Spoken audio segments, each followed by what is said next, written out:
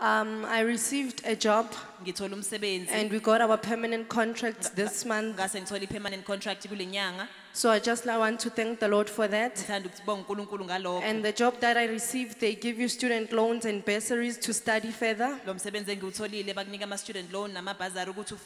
And also they provide shuttle services that take us from town to Centre For free. So I like to thank God for that.